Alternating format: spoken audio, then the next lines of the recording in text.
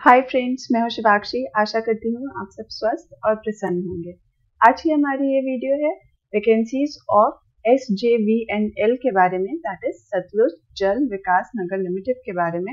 इन्होंने diploma holders के लिए वैकेंसीज निकाली है।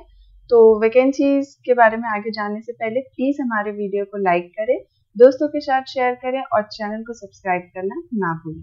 चलिए लेट्स गेट स्टार्ट फ्रेंड्स, ये देखिए, ये ऑफिशियल नोटिफिकेशन है S J V N L का, जो कि एक मिनी रत्ना कंपनी है।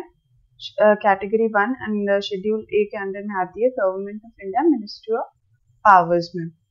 अब इसकी वैकेंसीज देखते हैं, ये किस हिसाब से हैं? Civil engineer electrical mech H R F A I T and O L के लिए है। तो जो हमारे मतलब की हैं, हम उस पर ज़्यादा ध्यान देंगे। डेजिग्नेशन क्या है? जूनियर फ़ील्ड इंजीनियर्स ही हैं. एचआर में जूनियर फ़ील्ड ऑफिसर्स हैं.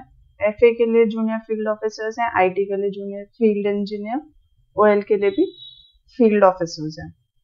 अब क्वालिफिकेशन क्या है? जो सिविल के लिए है जूनियर फ़ील्ड इंजीनियर के लिए, उसमें टेंटेटिव 90 वैकेंसीज हैं. टेंटेटिव एज इन कम भी हो सकती है इन फ्यूचर में और ज़्यादा भी हो सकती है. जिस हिसाब से उनकी रिक्वायरमेंट का अपग्रेडेशन या डिग्रेडेशन हुआ। जनरली कम नहीं होती है, ज़्यादा ही होती है। एजुकेशनल क्वालिफिकेशन में क्या है? Full time diploma in civil engineering होना चाहिए।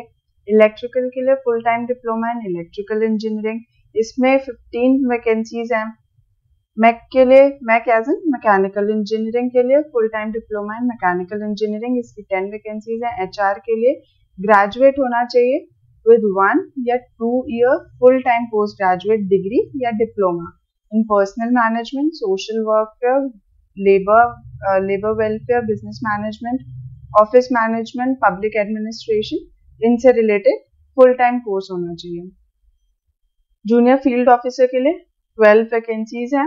इंटर सी ए और inter C I W A C M A से रिलेटेड होना चाहिए। आईटी के लिए full time diploma in computer science computer engineering information technology from recognise university और institute इसकी एट वैकेंसीज हैं और ओएल के लिए full time master's degree of a recognise university in Hindi with English as a main subject at the bachelor's degree level desirable diploma in Hindi translation भी it will be desirable कि अगर ये हुआ तो बहुत अच्छी बात है, नहीं हुआ तब भी चलेगा। अब मार्क्स परसेंटेज क्या है? पासिंग मार्क्स होने चाहिए एग्रीगेट 50 परसेंट मार्क्स चलेगा S C S T P W D के लिए and 55 marks for others 55 percent for others and 50 percent for S C S T and P W D candidates के लिए। आगे बढ़ते हैं, इसमें पी आर के ऑफिसर्स के लिए भी है जिसकी वैकेंसी फोर है वन टाइम फुल या फुल टाइम कोर्स होना चाहिए ग्रेजुएट डिप्लोमा इन जर्नलिज्म और पब्लिक रिलेशंस या फिर mass communication from a recognise university से वन ईयर का फुल टाइम डिप्लोमा भी चलेगा। आर्किटेक्चर के लिए भी है इसमें भी फोर वैकेंसीज हैं। Three years full time diploma in architecture from recognise university is the qualification total vacancies इन सबके मिला के 155 है। एज लिमिट क्या है? थर्टी ईयर्स अपर एज होनी चाहिए, यानी आप उससे ज़्यादा नहीं हो सकते, पर इसमें आपको रिलैक्सेशन मिलेगा according to your category compensation क्या है? सैलरी किस हिसाब से मिलेगी? जो junior field engineer junior field officers हैं, उनके फोर्टी फाइव थाउज़ेंड पर मंथ के हिसाब से सैलरी होगी और उसमें जो भी अलग सी चीज़ें वो एडेड रहेंगी। ये रिजर्वेशन हैं, जो S C S T O B C E W S and unreserve category में डिवाइडेड है। तो ये आप चाहें तो इसका स्क्रीनशॉट ले सकते हैं। अब हम रिलैक्सेशन पे आते हैं कि रिलैक्सेशन किस हिसाब से मिलेगा। तो एस एंड एस के लिए फाइव ईयर्स का रिलैक्सेशन है। Physically challenge of general category के लिए टेन ईयर्स का रिलैक्सेशन है। ओबीसी कैटेगरी में जो फ़िज़िकल हैंडीकैप्ड है, उनके लिए थर्टीन ईयर्स का रिलैक्सेशन है। एंड एस सी कैटेगरी के लिए जो फिजिकली चैलेंज पीपल है, उनके लिए फिफ्टीन ईयर्स का रिलैक्सेशन है।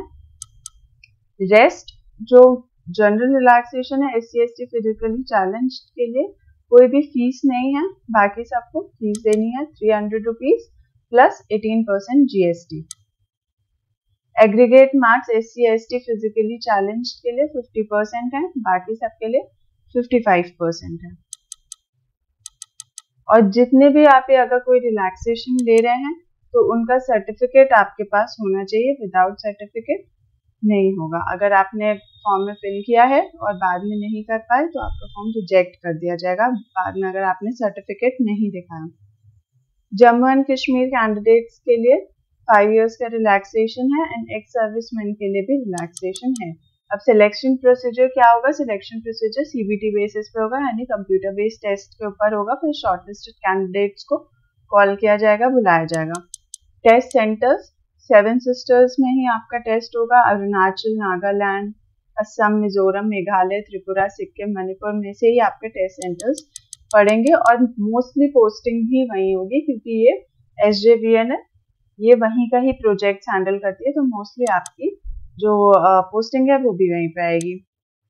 टू पार्ट्स में होगा आपका test seventy seventy multiple choice question होंगे रिलेवेंट डिसिप्लिन के फ़र्स्ट पार्ट में सेवेंटी क्वेश्चन होंगे एंड सेकेंड पार्ट में थर्टी क्वेश्चन होंगे टोटल हंड्रेड क्वेश्चन होंगे।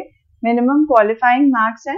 और ये ध्यान रखिए कि जो मिनिमम क्वालिफाइंग मार्क्स है, उसका मतलब ये नहीं है कि आपने मिनिमम क्वालिफाई कर लिया तो आपका सिलेक्शन हो गया। एक होता है मिनिमम क्वालिफाइंग मार्क्स और एक होता है कि आपने मेरिट क्रॉस की। वो जो मेरिट होगी, वो आपके जितने भी बच्चों ने एग्ज़ाम्स दिए हैं, उसके हिसाब से मेरिट एक डिसाइड की जाएगी। तो वो उसने जिसने क्रॉस किया उसका सिलेक्शन होगा। और जिन्होंने मिनिमम क्वालिफाइंग मार्क्स क्रॉस किए वो एलिजिबल होंगे किसके लिए? सिलेक्शन के लिए। तो 40 परसेंट है S C S T P W D candidates के लिए and 50 percent minimum qualifying marks है for others others that is O B C and general candidates placement वहीं पे होगा और बाकी ये जनरल कंडीशन है, उसका हमें इतना मतलब नहीं है। फ़ीस थ्री हंड्रेड रुपीज़ है plus G S T of eighteen percent and S C S T and P W D के लिए कोई भी फ़ीस नहीं है। एप्लीकेशन आपको ऑनलाइन अप्लाई ही करना है ऑफलाइन मोड से कुछ नहीं होगा। और इंपॉर्टेंट डेट्स जो हैं वो है लास्ट डेट है आपकी ninth October 2023 so so, please उसके पहले आप नाइन्थ का इंतज़ार नहीं करिए क्योंकि लास्ट लास्ट में बहुत सारी गड़बड़े हो जाती हैं तो आप पहले से ही फॉर्म फिल करने का ट्राई करिए। और डिप्लोमा होल्डर्स के लिए बहुत अच्छी वैकेंसीज हैं। तो प्लीज़ उसमें फॉर्म भरें।